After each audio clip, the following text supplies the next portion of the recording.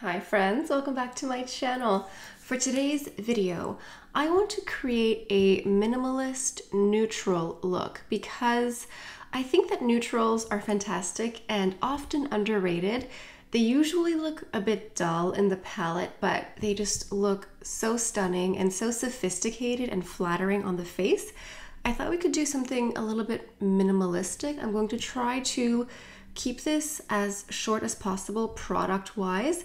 I may have some suggestions from different categories, but this is something that you could recreate at home in under 10 minutes if you're not explaining it to your friends. But before we go any further, let's take a second to grab our iced coffee or a hot coffee.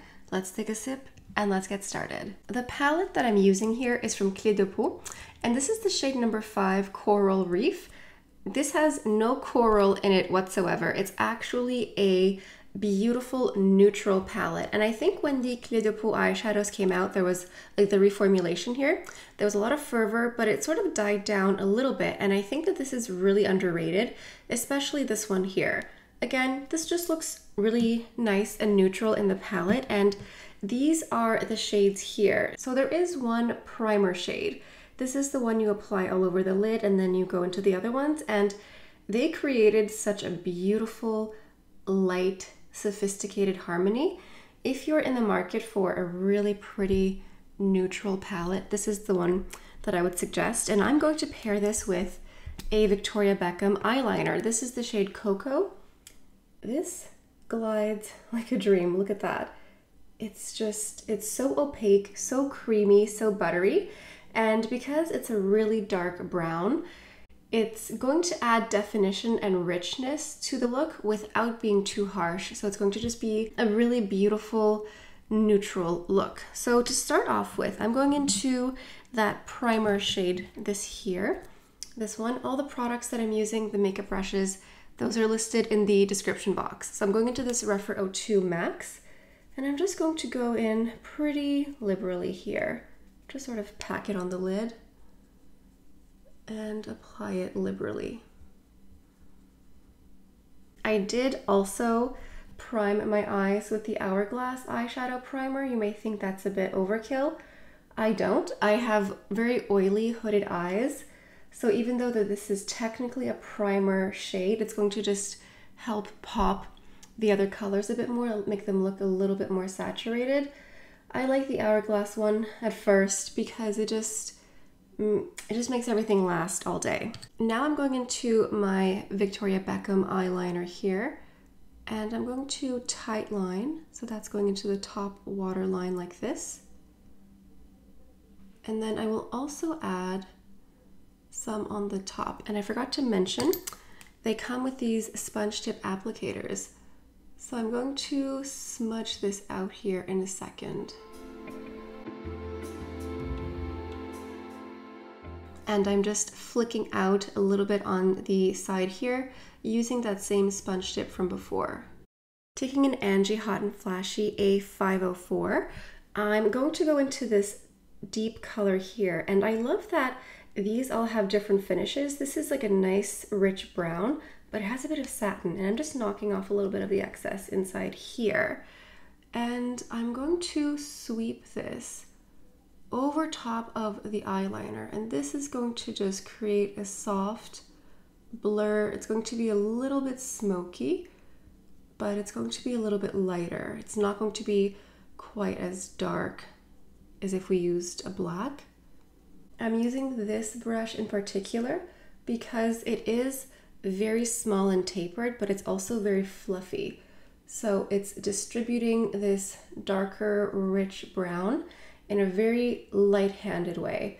I could go in with a sort of pencil brush like this, but this is going to be a lot more sharp and it's going to create a, a deeper, darker look. And I want something a little bit lighter.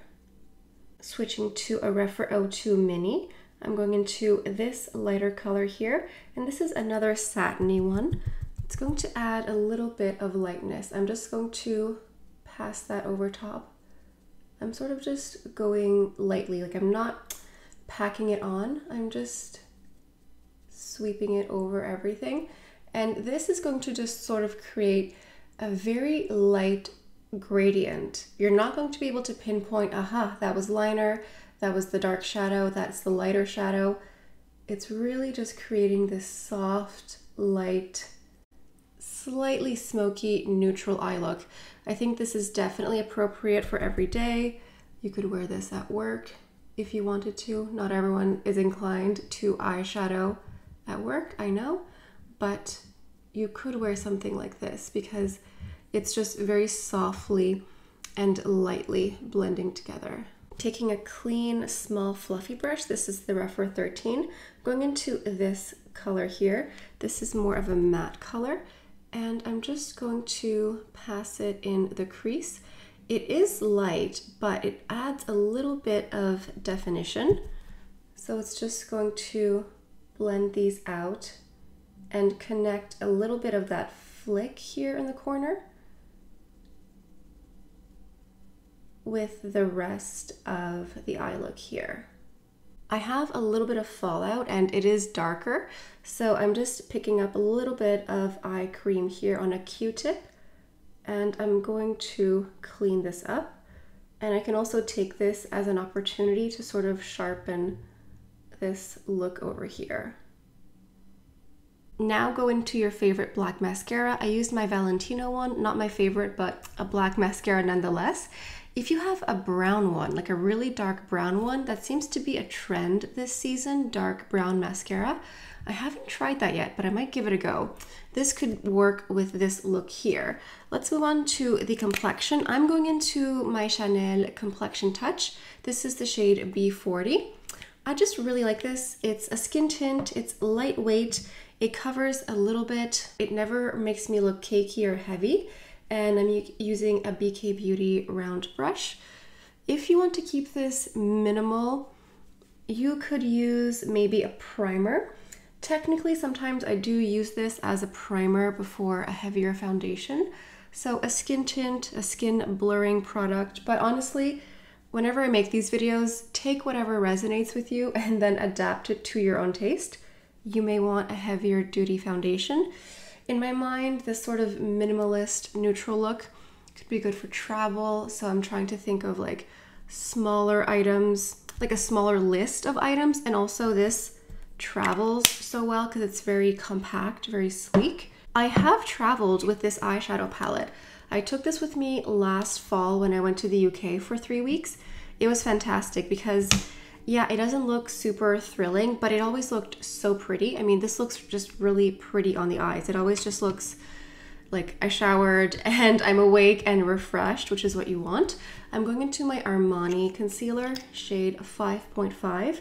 If you're feeling a very light skin day, like no makeup makeup, you could also just use this to spot conceal and maybe just do a little bit of powder if you want to compress your makeup kit even more. And this is the Prada Beauty concealer brush here.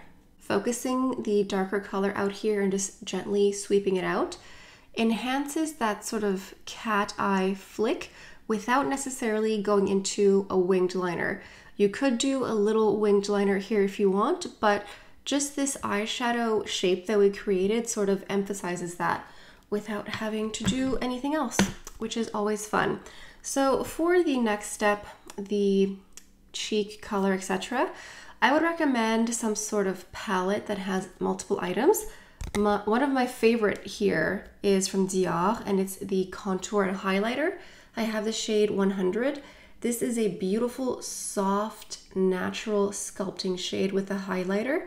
Very beautiful. It, uh, someone in the comments said I looked like a Victoria's Secret Angel. I will take that. Thank you.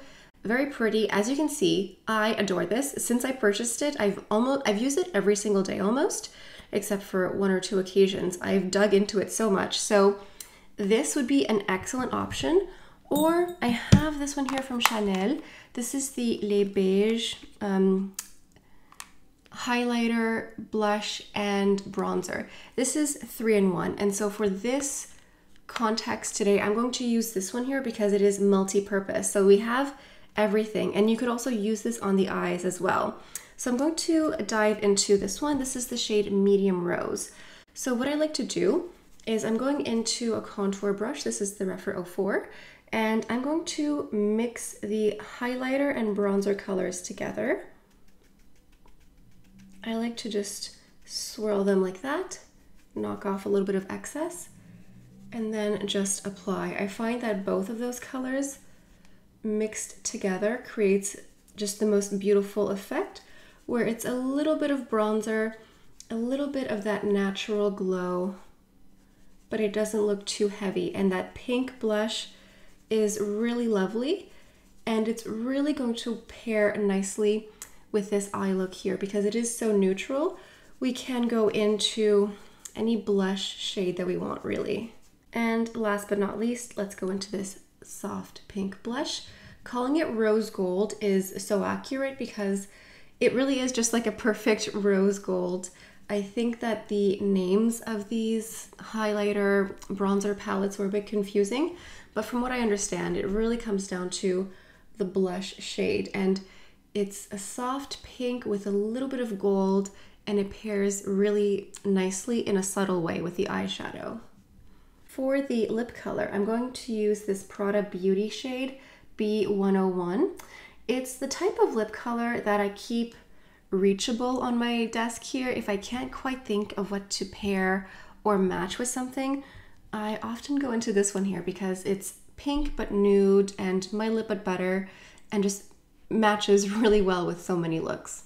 All right, I think this about does it for the minimalist neutral makeup look. Please sound off in the comments below and let me know what you think of today's makeup look. Maybe in honor of the neutrals, leave a little brown heart emoji. I think that's the only slightly neutral one that I can think of. So leave a little brown heart. And if you're not subscribed to my channel, I highly recommend that you do so because I like to use and reuse a lot of new and old collections. I mix them together. I will give you lots of inspiration at home on how to use up what you currently have without necessarily having to run out and buy everything new. But in order to complete the look, I want to add a fragrance. I'm going to go into one of my old favorites, the Chanel Coco Mademoiselle. This is the Eau de Toilette. I love this because it's a twistable one. It's great for travel. You could put this in a travel bag or, you know, pack it for a carry-on checked bag, whatever you want. I'm just going to spritz some of this. And I just love the Eau de Toilette version of Mademoiselle. I find that the eau de parfum has too much patchouli. I like patchouli, but it doesn't always like me. Whereas the eau de toilette has more lychee and it's just a little bit lighter and fruitier. So that's today's look. Anyway, like I mentioned, sound off in the comments below. Let me know if you want to see more of these sort of stylized or monochromatic beauty looks, leave a comment down below or a suggestion. And that is it for today's video. Thank you so much for stopping by. Hope you have a beautiful day and I'll see you next time. Bye.